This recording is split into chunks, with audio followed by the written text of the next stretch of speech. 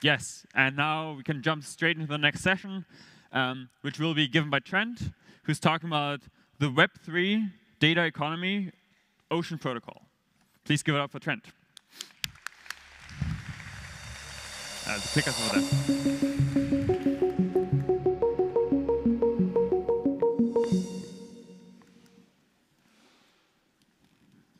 All right. Hi, everyone. It's a pleasure to be here. Um, thanks for coming to learn more about the data side of the Web3 world. I'm from Ocean Protocol. Let's get started. So many of the talks today have talked about um, the data silos, and it's uh, kind of amazing. Every time you turn around, you kind of learn a new peril in the world. For example, when I signed up for Gmail back in 2005, Google had promoted "Don't be evil, don't be evil," and um, you know, I'm like, great, you know, this is going to be okay, this is going to be okay. But in this summer, there was an article from the Wall Street Journal that Google has been selling all of your Gmail data, plain text, attachments, everything, to hundreds of companies. This means thousands of developers actually have full access to read your Gmail all the time. How does that make you feel? Don't Be Evil died a long time ago. It's sort of Google's arbitrage on the world to, well, people form. Facebook too, right? Um, a great example, of course, is a couple years ago, the election. There was all these Russian bots that basically tipped the scales so that we have an interesting American president um, compared to, well, maybe you know another choice. So at the summary of this is this realization that data is money. Um, and this was sort of the, the, title of an article from The Economist um, a year and a half ago, where it's been framed as the world's most valuable resource. Um, data is the new oil, all these sorts of things, right? And um, it's led to these problems like those I've talked about, which comes down to this challenge of data silos. Incentives are all kind of mixed up. We, we have this sort of Web 2 that we didn't want, rather than the Web 2 that we wanted. What can we do about this? So let's look around for some inspiration. And the inspiration, of course, it goes back to, well, another crisis that we faced back in 2008, the financial crisis, uh, where the banks, et cetera, had, well, you know, um, gathered together a bunch of money and spent it on these credit default swaps and so on. And at the end of the day, who was left holding the keys? The taxpayers. So this is a photo of people trying to go and get their money from their bank. And of course, they don't have the keys to their money. The bank has the keys to their money.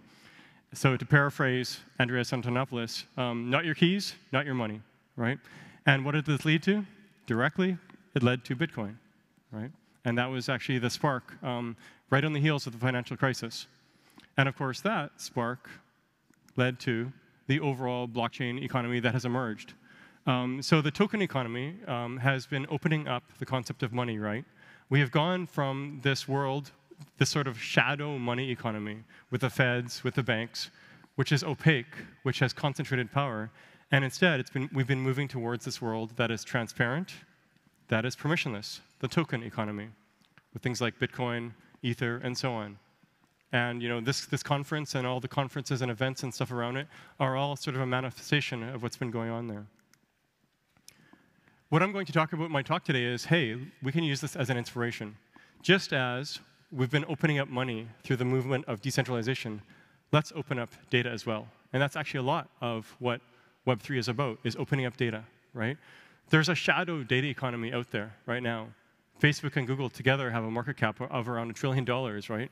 Um, that's pretty big, yet it's opaque. The power is concentrated, right? We have King Zuckerberg over the, his fiefdom of 2 billion people, right? Let's lead that into a Web3 data economy that is much more transparent and permissionless. The question is how? What does this actually look like? So let's move towards a solution. And there is there's a, a key thing that's at the heart of this, and that is artificial intelligence, AI. And this isn't the sort of like, you know, meet the Turing test AI stuff. This is simply building models. Models that map inputs to outputs to do classification, regression, all this, in order to serve up ads to you, the people, right? The more data you have, the more accurate you can serve ads, and so on. The challenge is um, there's a lot of data out there, actually, within enterprises, within NGOs, and so on. And um, the thing is, those enterprises, they don't actually have a lot of AI people in them. They have, have a tough time attracting AI people to come. Why? Because all those AI people have gone off to form their own startups to try to make money from AI. And those startups, interestingly, are finding, oh man, we don't have any data. And there's only a small handful of companies that have said, hey, you know, let's have the data and let's actually attract AI people and actually get them to stick around. Who are they? Sure enough, Google, Facebook, and a handful of others. That's it. And that's actually where all the value is being extracted into this very, very small group of organizations. AI, artificial intelligence, is the linchpin. But what if we could connect all these data haves, people with the data, the enterprises, the NGOs, et cetera, with the startups that are starving for data, right? The, the AI haves. So what if we could create a substrate that connects these folks? That helps to equalize the opportunities for leveraging AI via leveraging data via AI. That's what we're aiming for with Ocean. So to drill into that a bit more, um, at the heart of it, we have the data owners and the data scientists. The data scientists are trying to build the models, and the data owners are these enterprises governments. Governments often actually have mandates to open up their data. You know, this could be city governments, municipal governments, all the way to state governments and national governments. And of course, NGOs, you know, um, dozens of different UN agencies who actually uh, are trying to work with data, but actually don't have a lot of the expertise to do so, right? And of course, the, uh, there's the networks around that are providing data and compute. So imagine if we could have um, a whole bunch of different data marketplaces out there, buying and selling data, um, for different industries and verticals, for automotive, for medical, and so on, as well as an AI Commons. Imagine if side by side with priced data, we could have free data in a way that incentivizes people to actually supply to that commons. So that's sort of the supply side. And then, of course, the demand side is easy. Um, AI uh, people, data scientists who are building AI models, um, they know that their AI will um, take as much data as possible. So the, the demand side is easy. It's really about getting the supply side there. So the data scientists, they have problems to solve, and they use their traditional tools like scikit-learn, TensorFlow, and so on. So what Ocean is about as this Web3 data economy is a connecting substrate to incentivize and make it really easy to connect the dots to get the data um, used. So first of all, within the world of Bitcoin, Bitcoin is um, paying you block rewards to maximize the security of the Bitcoin network. It defines security as the hash rate, and then it, um, your expected block rewards is proportional to your, uh, how much hash rate you provide to the Bitcoin network, right? Well, we can do the same thing with data itself. Your expected block rewards can be proportional to how much you have staked and if you serve that data up or not, how popular that data is. By doing this, it's actually incentivizing people to contribute to the data commons and beyond. So this is one part of helping to incentivize. But there's another part. There's a whole bunch of enterprises, they have all this data, but it's not like they're just going to give it to the, the commons right away. They're really worried. Maybe it has PII, all of that, right? But what if there is a way to sort of try out and get some value from it anyway and learn about how this all works? Or maybe if it is really like PII stuff, then you can't, um, you know, it can never leave their premises. Things like German medical data cannot not leave German soil. What do you do? And the answer is you bring the compute to the data itself, right? So um, to avoid these data escapes, what you can do is you have this middleware layer, um, composed of Ocean, et cetera, that has the incentives and permissions. And then you have private data that stays private behind a firewall. And with that, you privately train on the model. You, you create this private model, and then only the predictions get made available. The predictions are various analytics and so on. And by doing this, you're actually getting the benefits of building the models and so on, yet at the same time, you're retaining the privacy um, that you need to retain. So the data stays behind the firewall. So this is actually the core idea of Ocean. Uh, there's a few ways to frame it if you guys are kind of still trying to figure out, OK, how do I wrap my head around this? So one way is, um, in fact, I'll go backwards for a second. Um, I'm sure, who here has bought airline tickets via Kayak or via any other site? I'm sure everyone, right? Great, everyone, of course. And uh, so many of you flew here, thank you. Um, and uh, so with this, you go to Kayak and you search, and you get flights coming from um, used to be Air Berlin, uh, but Air Canada and other uh, airlines, and it's all in one site, say Kayak. Now, if you go to Expedia, or if you go to another site, you're actually going to see the same flights. It's different interfaces for the same data. Why? Because under the hood, there's actually one common substrate, some, one common database that all of these, these different systems use. It's Sabre and Amadeus kind of merged, okay? And this has been around for decades. And what's kind of amazing is, on top of that, we have various data marketplaces that have emerged to buy and sell um, these airline tickets, right? And at the end of the day, once it's bought, then um, the airline supplies that ticket. So that's actually what I have on the left here. The supply of tickets is from the airlines. And then the consuming of the tickets is the consumer travelers, the business people. And in between, you have all these things like Expedia, Kayak, Hipmunk, as well as travel agents, third-party resellers, you know, and so on. Well, Ocean itself is like Sabre for data itself. So you have a whole bunch of data marketplaces that can build on top of Ocean. It's really easy. You have, have the right permissioning set up, all that as well as different websites for AI Commons, and they're all, access all accessing the same underlying listing registry of what data is being made available, right? Some of the metadata, not all, and it's, it's straightforward and it's privacy preserving and all of that. That's really what Ocean is about that way. Another way of framing is simply an AI compute pipeline. So if any of you guys have done AI type work, you have things like um, MapReduce, um, Hadoop, um, Apache Flink, these sorts of things. These are all sort of DAGs for compute that are used by the big data world. Uh, Ocean itself helps to manifest these, these compute DAGs um, where you have data coming in and then going to compute, then going to storage and so on, right? So Ocean itself, um, it's not just about providing data, um, that's the goal, but sometimes you actually need to connect different pieces um, in order to handle the privacy, like I talked about before. Another way of framing Ocean is an inter-service network. So um, it's connecting, it's a network of networks, but it's connecting around various services. So we can have services around data. You can have fully decentralized data coming from, say, Filecoin. You can have um, cloud-type data coming from, say, S3. Or you can have data coming from behind a firewall. Same thing for compute. Fully decentralized compute, um, say with Golem, or maybe privacy-preserving compute. Uh, that way, Enigma, uh, or uh, centralized compute behind your firewall, or cloud-based compute like EC2. All of these can connect into Ocean, um, and when they provide these services, it's treated as a service that's verifiable. So Ocean can be viewed as an overall inter-service network with a, a, layer of curation. As well, uh, you can actually just think of it as a network of networks. So just like Web3 with Polkadot, et cetera, is a network connecting various networks um, that have the, the, underlying relay chain, uh, these parachains and stuff. Well, um, Ocean, you can view it as one layer on top of that. That's sort of the crypto perspective, right? So there's a whole bunch of networks. It's incentivizing these networks to work together and join because they're getting block rewards to be part of the Ocean network. And that would be the crypto perspective. Now, if you're an AI person building these data models, um, then you're just thinking about uh, it's just an L1 network on that. So on the left side, this is the crypto perspective. It's sort of L2 on L1. From the AI perspective, it's simply uh, L1. So what does this look like, right? And um, you know, if you're going to use Ocean, what does it look like? Well, um, probably most of you here are crypto people, not data scientists. Actually, I should ask, how many of you here are data scientists or played with models, played with AI, played with neural networks? Not that many. OK, cool. But a few. Great. So um, Ocean, first and foremost, is actually for data scientists, right? And if you're a data scientist, uh, you have tools to go and build um, your model and, and, deploy it, right? What do these tools look like? Well, up here, um, this is something called IPython, Interactive Python. Python, by the way, is the main library used by people building these models. It usually glues to something below with built in C or something. And um, so Ocean, basically, the idea is make it where data scientists get to keep using the same tools they've always used this here, it's interactive Python, but there's other things too, like MapReduce, Spark, Jupyter, Zeppelin, these sorts of things. It's a different Zeppelin than the crypto Zeppelin. um, you know, scikit-learn, all of these things.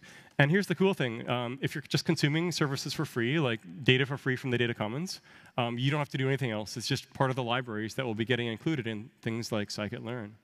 Um, but if you want to buy services or sell services, this is where you can integrate um, MetaMask and other wallets um, into your flows. And we actually have um, working code on this already.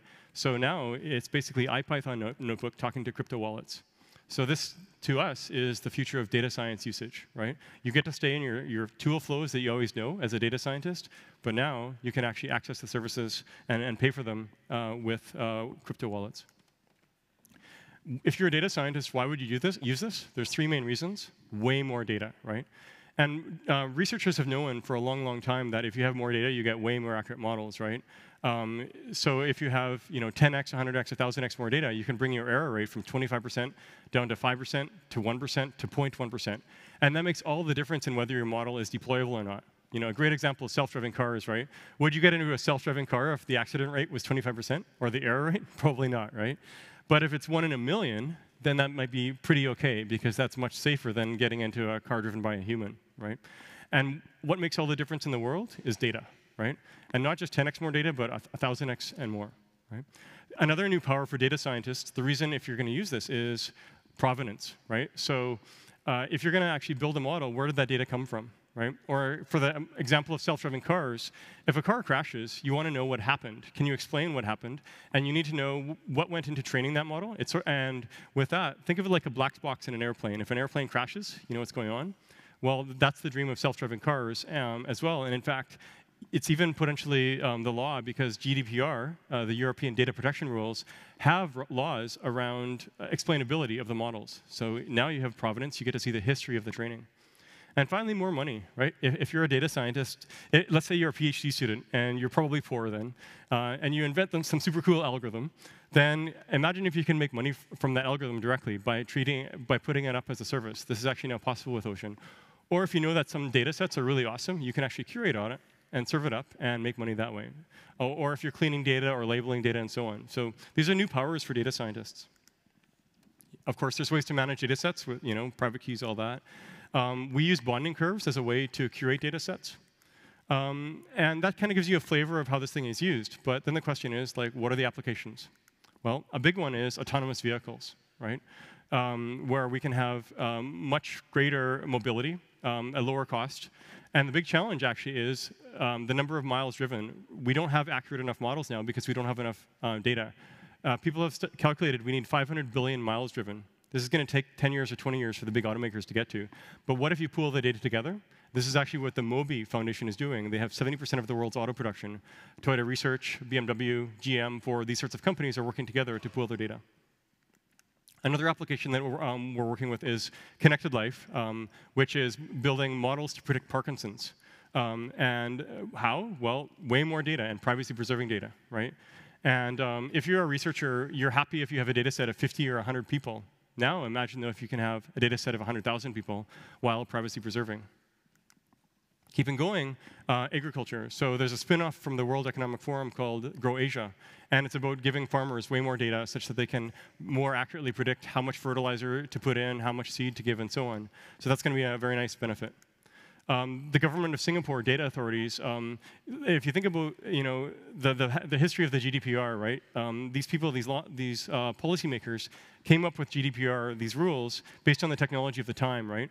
And it was kind of hard. A lot of it is heavy-handed here and there, but it has some nice benefits too. But imagine if you could thread the needle a bit better, simply because there's better trade-offs between privacy and provenance and so on. So giving more optionality to these policymakers is very nice, and this is actually what we're doing with the government of Singapore. Um, curation, we can explore curation with um, applications like MusicMap. It's, uh, if you go to musicmap.info, you'll see um, a way to explore genres and then see how that maps to playlists. We're going to be inserting um, blockchain-based curation into that application. And the AI Commons, this is an example where um, there's a whole bunch of UN agencies, more than 40 of them now, that have been coming to a conference called AI Commons, sorry, AI for Good, learning about how they can help uh, promote these UN 17 Sustainable Development Goals. Um, and they've all realized, wow, at the heart of this, uh, we need data. And in fact, we have all these people with these problems, but we don't have a way to connect to the people that know how to solve the problems, the data scientists. And that's really what, what this is about. The Web3 data substrate, Ocean, uh, in this AI for Good application. So I've talked about some of the applications, um, but what does this actually look like as an economy, right? I mean, that's what a lot of um, blockchains are designed to be, these public utility networks, but not just a utility network, but a full-on economy. Well, we'd have been asking that question, and we said, well, there is this token economy, this money economy that we've had, and there's sort of a base layer. We've got the reserve currency, Bitcoin, the store of value. There's the app platform or unit exchange, like Ethereum. It's probably the main one. And an app funding platform, um, Ethereum as well, SAFTs as well these days too. Um, and then along that, we have last miles in terms of utility. This is dApps, but also last miles in terms of the economic layer. This is um, the custodians or wallets, you know, Coinbase, Trezor, MetaMask. Uh, token exchanges, um, GDAX, Binance, that sort of thing, and mining, right? Bitmain, et cetera. So this is sort of a snapshot of what you could frame the data economy as. So we said, what if the data economy looked like a token economy, at least as a first approximation, right? So um, that's the blue on the right. And once again, we have the reserve currency, the unit of exchange, the, the data or asset funding platform, and then the last miles, right? So we asked, OK, if it looked like this, um, how well does the design actually fulfill these goals of a data economy? How, or how do we instantiate this data economy, right? We need to fill in each of those. So to start with, at, at the heart of Ocean, I've mentioned this briefly, rewarding, you want to reward making relevant data available.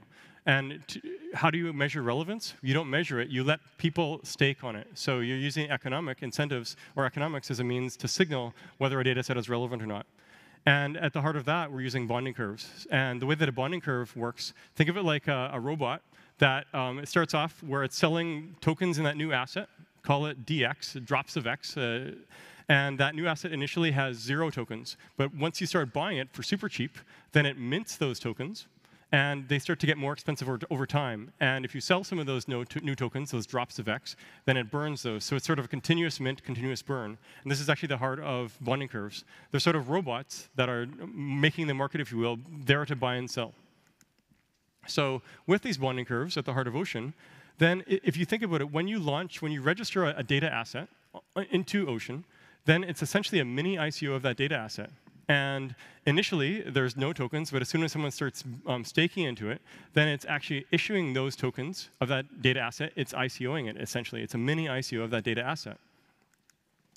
Uh, also, um, the more um, tokens that have been staked into one of these bonding curves, um, then the more you have in reserve currency. So the area under the curve is actually a reserve which is kind of amazing. So there's actually this reserve currency for data assets that naturally falls out of bonding curves.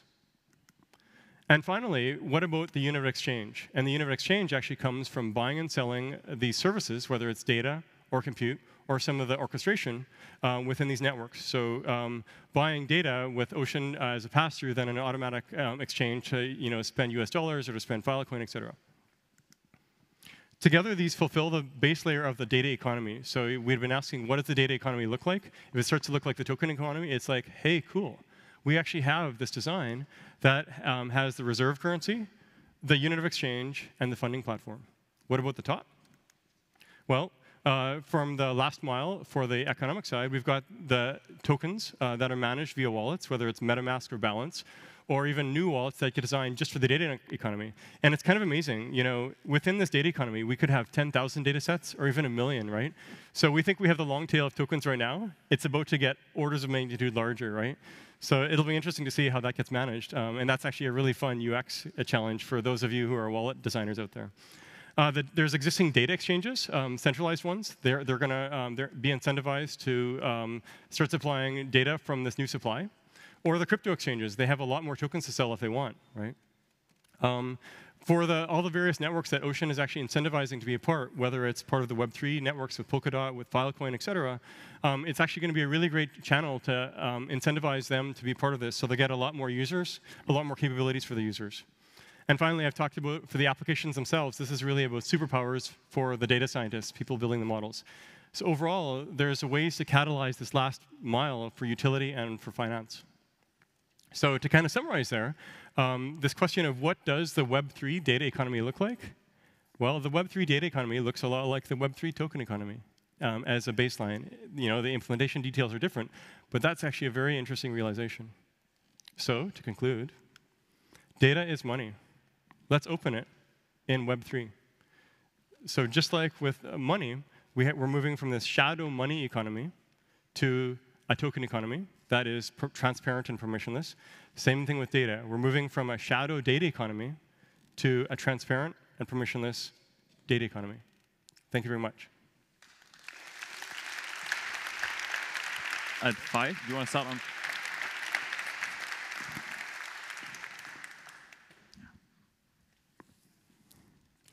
I'm not sure how it works. Question here? Do we? Yeah, we passing okay. the mic around. All right, cool. Um, I was wondering, what kind of realistic expectations should we set on uh, latency and data throughput? So I'm talking about the point when data is produced up to the point when the data can be consumed. And yeah. Uh, so overall, um, Ocean is used sort of to manage the permissions uh, to access data. But then let's say that I'm giving, I'm, I'm sending data to you.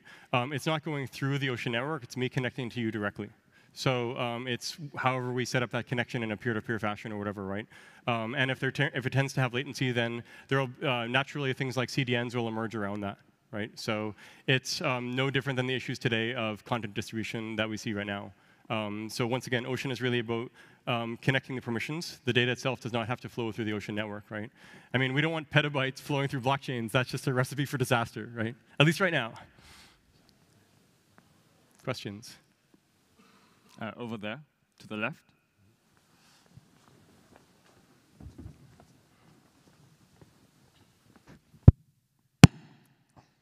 Uh, yeah, so I have way too many questions to ask here right now, but uh, one of the main questions I would have is about the incentive system. Um, I'm a bit skeptical about that. So my question is, if I would be, let's say, a pharmaceutical company or anything like that, uh, wouldn't it be more valuable to me to silo my data than uh, the benefits I would get to actually share it to anyone else? Because the data is the actual value we would get from it. Yeah, so uh, pharmaceutical is a lot of medical data and stuff, right? So that's probably not going to end up in the commons at all, no matter what, right? And it's a bad idea to do but, so. But but this Yeah.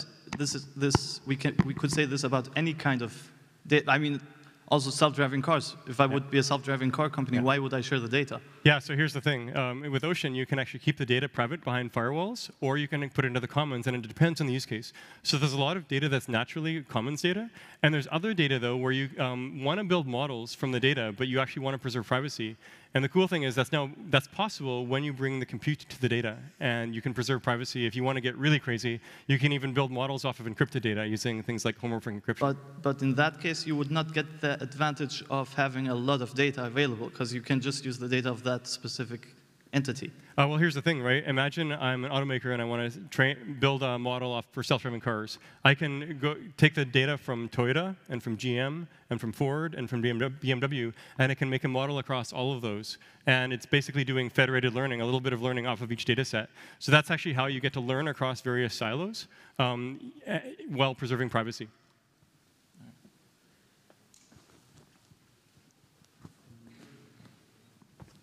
There's a way to thread the needle. so silent here.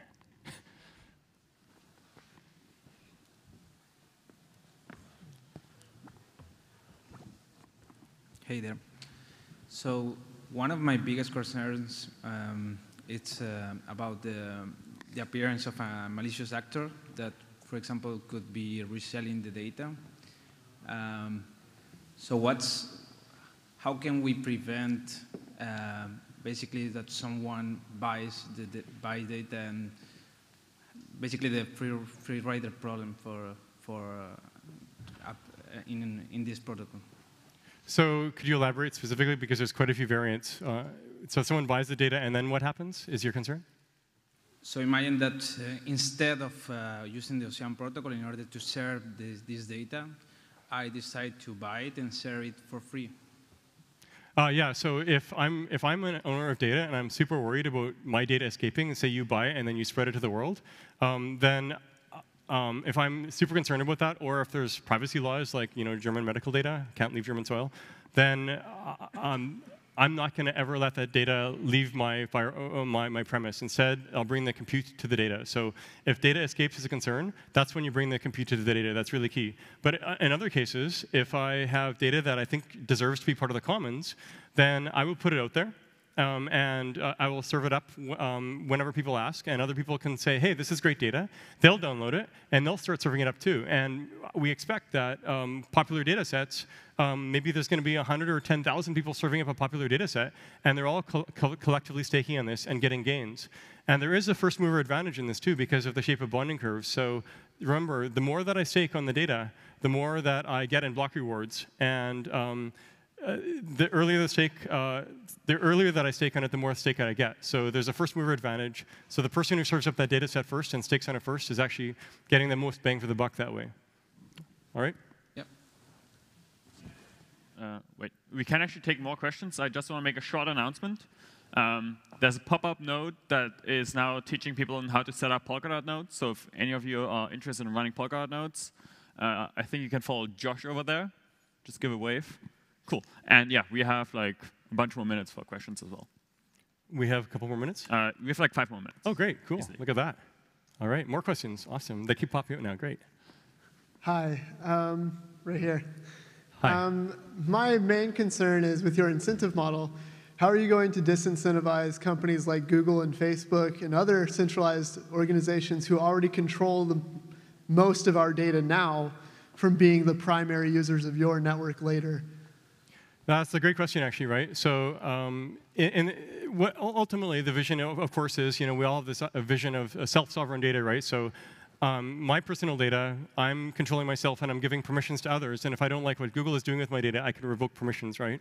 So that's the, the near, that's the medium and longer term goal. And the near term, if I've already given consent to Google for my data for the next while, then Google might very well do that. The, Will they? The, um, go ahead. The problem now is that you can't revoke your consent from Google and Facebook owning your data because you've already signed agreements that say they own it now. Exactly, exactly. So I was getting to that, right? So they have my data now, and um, frankly, you know, I dislike the fact that they've arbitraged me. You know, they weren't evil before, or they claimed not to be, and now they got rid of that. Um, so uh, we have to get over it, the fact that they have the data now that I've given consent for. But as time goes on, that personal data that I have now, um, if, if I stop using Google tomorrow, um, then that, the value of that data will go down, down, down, down, down, right? So um, I do anticipate that some of the big companies will come in there and use it. Um, but they're, uh, over time, uh, as Ocean is designed to sort of erode at the walls of this such that there's more opportunities for others. And in fact, if any of you are out there in the audience, you know, there's one really, really cool thing about GDPR. I'll, I'll tell an anecdote because this relates. Um, about five years ago, a friend of mine, uh, he asked Facebook for all his personal data, and the law said he had to give it.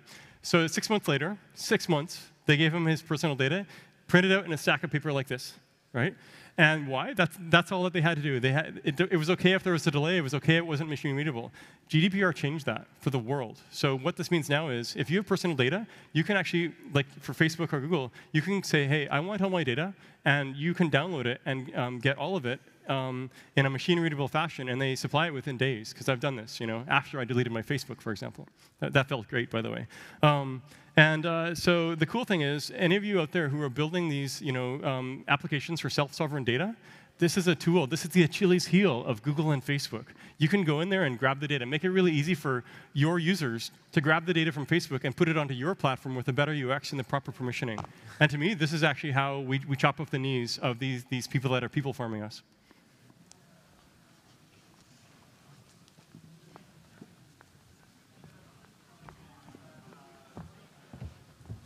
Thanks, really enjoyed the presentation. So my question is around if I was to sell my data to Ocean, um, how does that valuation or the staking mechanism interact if I was to resell that data, right? So if I, because if it's my data and I have control of it, if there's six other Ocean protocols or six other corporates that are trying to buy, buy data, how does that data value uh, go into the future if I can continue to resell it? Yeah, so um, generally it's going it's uh, through a marketplace, right? And that marketplace will set up the terms and conditions, and your data actually follows copyright law. So this is actually just like uh, if I sell my, my personal data to you, um, then there's going to be a, a, license that you, you have, in this case, uh, if you choose this way, but it has to follow the laws. So it has a, a license that's literally a contract. And with that contract, it will actually stipulate conditions around whether reselling is possible, yes or no, yes or no, right? Now, that's sort of the, the legal side. But generally, you know, you want to have sort of default to make it really easy to, um, you know, 99% um, for the sunny days, you want to make it the technical, the technology to follow this, and you only want to have recourse to the legals for the last 1%. So you have the recourse because of these, these contracts. Um, uh, and at the end of the day, myself, if I sell the data to you, um, I can't really prevent you, if you grab the data, I can't prevent you from going and pasting it all over the world, right? I can't do anything about that. If I really don't want you to do this, then once again, bring the compute um, to myself, right? So always um, bringing compute to yourself is the way to absolutely avoid data escapes. Or I can say, hey, you know, what? I'm going to um, draw on the, the um, long arm of the law in order to prevent data escapes. So, you know, you're going to court if you use my data that's not according to um, the rules that I set up, right? So it's kind of up to myself, or court, or third-party arbitration, or whatever. Um, and it's kind of a, a, challenge, right? Because you want to make it really easy to uh, really easy to uh, monetize the data if you can, but um, these, these are how you reconcile it, right? So you're giving the user the choice, either bring the compute to the data or leverage third-party arbitration. We won't have more time for questions right now, but I think Trent will be outside for the AMA session, right? So yeah, thank you very much.